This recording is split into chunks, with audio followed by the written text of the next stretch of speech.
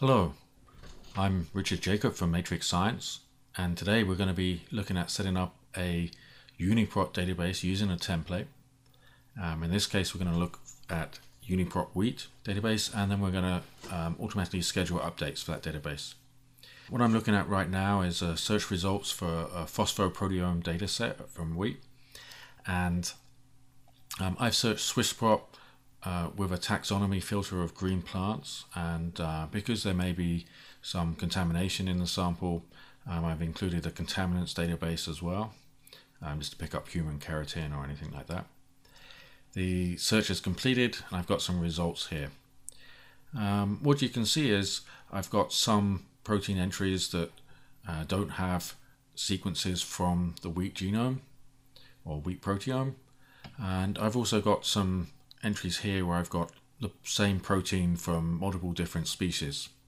And to clear up the protein inference, uh, what I want to do is be able to search a proteome which just has the wheat proteins in. It will make it a lot clearer um, when we review the results. So, how to go about that? What we can do um, is first look at the help and the process is well documented there. So we go to database search help, sequence database setup, and UniProt proteomes. If we scroll down, um, this is the information that we need to know. We need to find out the taxonomy ID for the protein. Um, we can either download the database manually or with Mascot Server 2.4 and 2.5, we can set up a URL and have the server pull the FASTA file from UniProt website and uh, we're going to use this UniProt template. And this means that all the parse rules and other information is pre-configured. Um, here's a URL that we can use um, with Mascot Server to grab that database. So like I said, the first thing we need to do is find out the taxonomy for wheat. And the way to do that is to go to the UniProt website and we can set up here um, to search um, the taxonomy settings. And we search for wheat. And it lists not just because we, we gave it the uh, English name wheat um, it's pulled up the Latin name and we've got some other similar species. For some species uh, there'll be multiple genomes of different individuals that have been sequenced and we might find uh, different entries on those for the different strains and so on. This is the, the species we're interested in here. And when we go through, we get the taxon identifier. So I'm going to take that taxon ID, open up a text editor. Now we're going to go back to the web browser This is the complete URL that we want. And I'm going to put that taxon ID in there. Now, um, we have a couple of other options in that URL. So one here is the format. That's quite obvious. It's FASTA. Um, the second is the keyword complete proteome. UniProt contains not just the sequence information from one read of a genome, but maybe multiple reads of the genome for the same species. Um, but when we look at the complete proteome, it has a certain keyword meaning, and we can look up those keywords.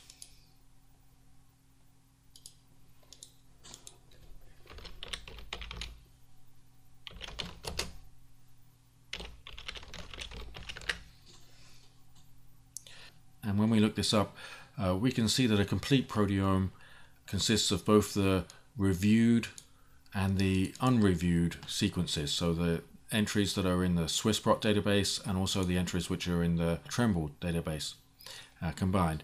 Um, there's also reference proteomes. Um, reference proteomes are, if you like, a, a subset of that uh, complete proteome, and it's really just referring to um, a proteome that the UniProt uh, annotators have put together as a, a best illustrative proteome for that species. And they've gone through and they've used uh, various algorithmic uh, and manual methods to do this for a number of proteomes across the tree of life. So going back, so we have complete proteome. This will take um, all the sequences from both Swissprot and Trembl. Um, force is just to download the file and we have an include yes. So what does that mean? Um, again, we can go back to the UniProt site. In this case, I'm looking at the programmatic access um, parameters and include is defined here and what it means is that it includes the isoform sequences uh, when the format parameter is set to FASTA. So we've assembled the URL. I'm going to copy that to the clipboard. Uh, now we actually have to set up the uh, database. So we go back to the welcome page, configuration editor, database manager, and we want to create a new database. We're going to give the database a name.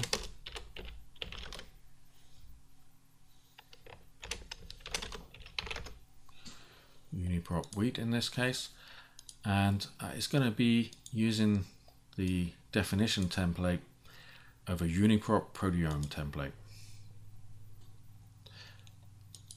So we'll say next so now we're going to create the database and it asks us for a URL to download the FASTA file. So we set up the download URL. We enter in our URL with the correct taxon ID and save. Click on Start Downloading. Mascot will put that download task into the queue and after 15 seconds or so it will start downloading and depending on the speed of your internet connection the database will be downloaded uh, within a few minutes. The download is started and jumping ahead and the download is complete.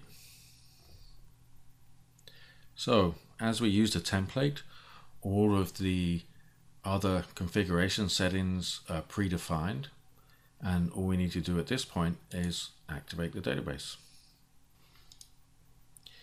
The database is now in use and uh, I mentioned right at the beginning that we can schedule an update for this database. So we can edit a schedule. Most databases like Swissprot UniRef 100 are updated on a monthly basis. Some databases like NCBINR are updated daily, although I would never recommend actually scheduling an update to download the newest version each day. For this database, we're going to follow the sort of standard Swissprot type um, updating scheme and, and update the database monthly. Uh, we're going to update it on the 5th of the month at 5 a.m. in the morning, which is pretty quiet and we'll just go for 5 past. So save that schedule. So now uh, Mascot will automatically look for and update that database if there's any changes on the 5th. If we go back to the database settings here, now we can see the Uniprot wheat database listed. And we can also manually update the database at any time just by clicking the update button. Okay, so we've completed the download of that database and brought it online so it's in use and we've set up a scheduling. Now let's go back to our data set and uh, research that data against the Uniprot wheat we don't need a taxonomy filter anymore because we're going to be searching the whole of the Uniprot wheat database and we're going to include our contaminants database and let's do the search and I will come back to this search when it's completed.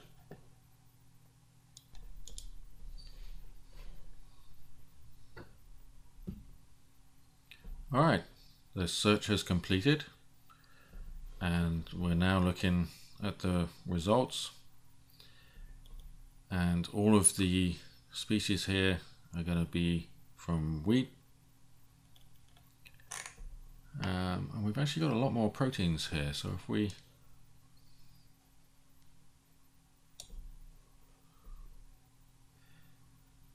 Here are the two search results side by side.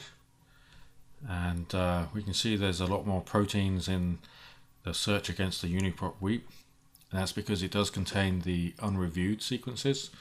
Uh, we can expand the decoy sections and we can see there's a lot more peptides matched. So um, those unreviewed sequences and the isoforms have improved our results considerably. Okay, so I hope I have shown how easy it is to set up a UniProt proteome database using the UniProt template um, in this example with wheat and also how easy it is to schedule an automatic database update. As always, if you have any questions, please email support at matrixscience.com. Thank you.